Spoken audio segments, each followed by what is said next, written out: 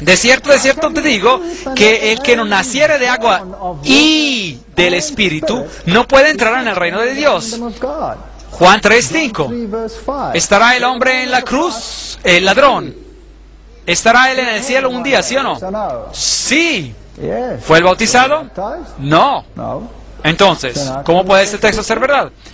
Ven, si tú no tienes una oportunidad de hacerlo, Dios juzgará la intención del corazón. Y al que sabe hacer lo bueno, dice la Biblia, y no lo hace, le es pecado. Santiago 4:17. Dios pasa por alto los tiempos de ignorancia, pero debemos eh, de tomar todas esas cosas en cuenta. De cierto, de cierto te digo que el que no naciere de agua, si tiene la capacidad y sabe, debe nacer de agua y del Espíritu. Sin el Espíritu no tiene sentido. No puede entrar en el reino de Dios. Eso es algo muy serio. Juan 3.5. Por lo tanto, si leemos eh, sobre lo que ocurrió en la iglesia temprana, cuando esas conversiones comenzaron a tomar lugar, ellos se quedaron conmovidos profundamente por las palabras de los discípulos después de que habían crucificado a Cristo y dijeron, hermanos, ¿qué haremos? Y Pedro les dijo, arrepentíos, ¿qué significa eso? Dar la vuelta. Uno iba en esa dirección y ahora va hacia la dirección opuesta. Uno se encontraba en el pecado y la transgresión y ahora da la vuelta hacia el otro lado. Y bautícese cada uno de vosotros en el nombre de Jesucristo. Hechos 2, 37, 38. En otras palabras, la cuestión en juego es que Jesús era el Mesías al que habían crucificado. Ellos quebrantaron la ley crucificando a Cristo porque dice, no matarás, no asesinarás, y ellos lo hicieron.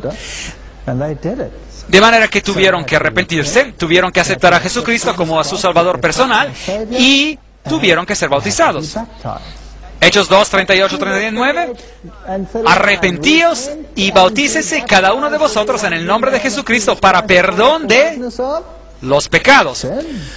Y recibiréis el don del Espíritu Santo, porque para vosotros es la promesa, y para vuestros hijos, y para todos los que están lejos, para cuantos el Señor nuestro Dios llamare. Ahora, algunos alegan que este texto dice, está bien bautizar a los niños pequeños. ¿No es eso lo que dice? Dice que cuando uno acepta a Cristo, entonces uno será bendecido, de acuerdo al Antiguo Testamento, por miles de generaciones. Dios actúa según la decisión de uno y uno le da a Dios el derecho de interceder en su propia vida y de protegerlo y recibiréis el don del Espíritu Santo. De manera que cuando uno es bautizado, es dotado con un don especial. Antes de eso, uno puede recibir impresiones por parte del Espíritu Santo, uno puede ser conducido por el Espíritu Santo, pero ahora en su bautismo uno recibe el don del Espíritu Santo. Y esta promesa es para vosotros y para vuestros hijos. Porque los hijos están cubiertos por la decisión y la fe de uno. Y para todos los que están lejos, todas las personas, y para cuantos el Señor nuestro Dios llamare. Así que va para todos los tiempos.